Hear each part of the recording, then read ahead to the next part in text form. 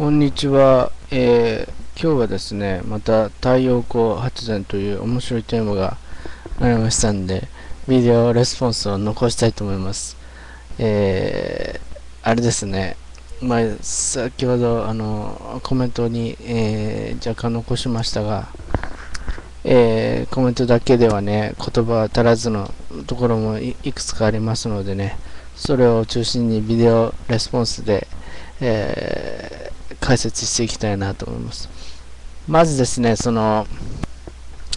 えー、自閉さんでしてね、が言われてるね、あの、太陽光を、えー、発電所形式にしろっていうのはね、あの、まあ、あの、自閉さんは、あの、ね、あの、YouTube で忙しくてですね、なかなかテレビ見る機会がないと思いますが、私がね、あの、やっぱ民放のテレビとか見るとですね、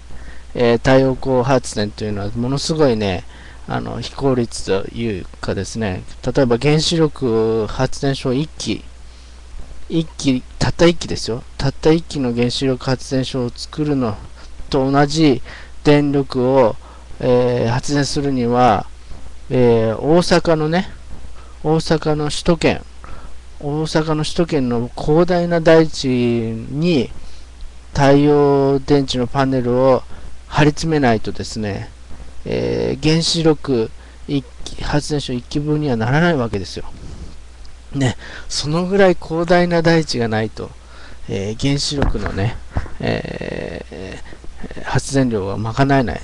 ましてやね、日本は今原子力発電所が50基以上あるということでね、50基の分 50機をね、全部太陽光発電で賄うことはまず無理だということなんですね。それで、えー、その、だから私はその家庭用とかね、例えばドイツの例で見ると、ドイツはその大規模な工場とかね、えー、産業工え工場には、えー、屋根に、えー、太陽電池のパネルを貼り付けて、え、それを買い取ってもらうような形にしてる、え、ような話もある。ドイツのね、お話だとね。だから、その、例えばその、ね、東京、東京となんかもすごい住宅やビルが密集してるわけで、その密集地帯にですね、発電所なら、さらに発電所を作ろうなんて言ったら、もう東京都をね、賄うには東京、もう関東地方全部太陽パネルでね、張り詰めないと発、発電量は、あの、賄えないような計算になるわけで、そうじゃなくてですね、もう東京都だったらその東京都の密集地帯のも全部に、全部のね、えー、家にですね、えー、屋根にですね、太陽電池のパネルを貼り詰めれば、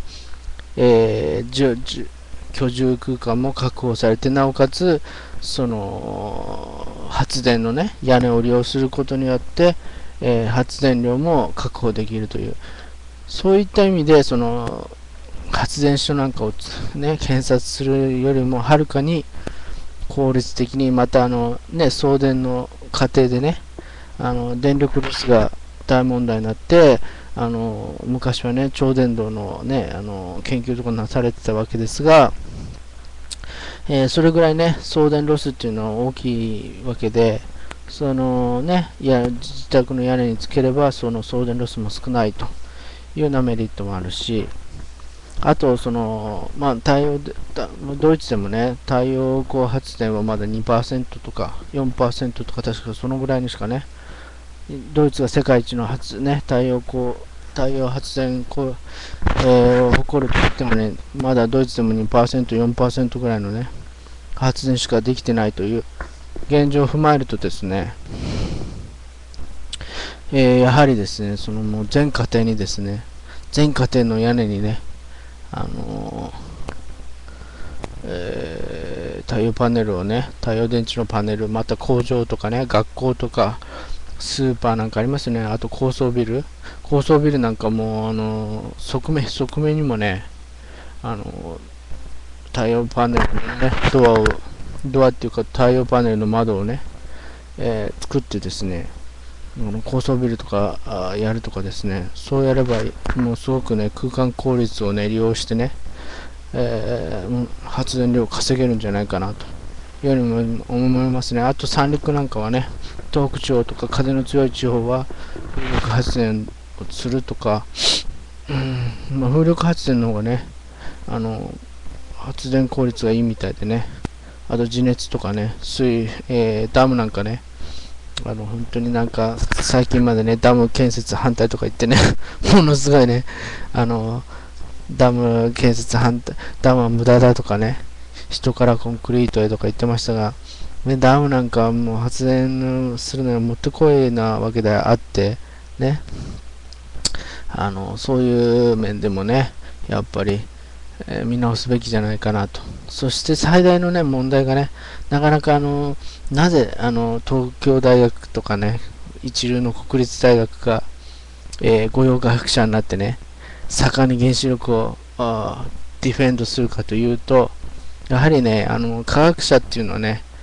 特に理学,、えー、理学者とかね、工学者はね、やっぱり原子力という分野、学問分野がね、あ花形な学問であるわけで、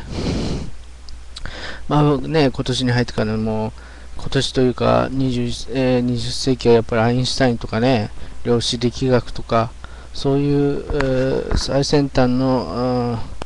えー、物理学は、皆、あの、核物理がね、えー、素粒子とか、そういう分野が、えー、物理学の、えー、花形であるわけで、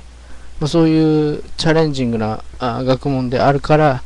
えやっぱり原子力とかね、そういう核融合とか、そういう分野をね、あの、東大の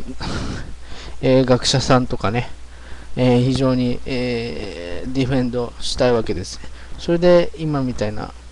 あの問題が起きてしまったということで、それから、それに比べると太陽光発電なんていうのは結局その、ね、半導体の集積量のね、増やすだけなんで、えー、それほど学問的にもですね、えー、興味のある分野じゃないんじゃないかなと。ね、あの、核融合なんか、あの太陽なんかね、あの、いい例ですからね、あんな太陽が、あ地球にね、あのエネルギーを降り注いでですね、えー、いるような、ああいう膨大なエネルギーをですね、えー、作れるかもしれない。特に日本は資源がないんでね、そういう核融合みたいなことができればですね、日本は日本はね、ものすごい、えー、有利に、有利というかね、あの資源がないんでね、そういう分野でも、そういう意味でもね、やっぱ東大の御用学者ができてしまったんじゃないかなと。まあ、それは置いといてですね、えー、やはり、その、太陽光発電も、えー、そういったね、その発電所でね、えー、その、規模でどのこうのとか、その、孫正義さんも言ってましたが、あの、私が見てたテレビ番組もやっぱりそ、そのアプローチはね、ちょっと違うんじゃないかなと。ね、原子力発電所を1基作るのにね、大阪の首都圏が、えー、で全部敷き詰めないとですね、原子力発電所1基分にならないということを考えるとですね、やはりね、それだったら、その大阪のね、首都圏の密集地帯の全部の家、ビルにでね、の天井にですね、えー、太陽光パネルを貼り付けた方が、えー、そこに人も住めるし、えー、発電もできるしということでですね、え、理にかなってるんじゃないかなというふうな番組を見ましたんで、それを報告しておきたいと思います。え、長くなりましたが、このくらいで失礼します。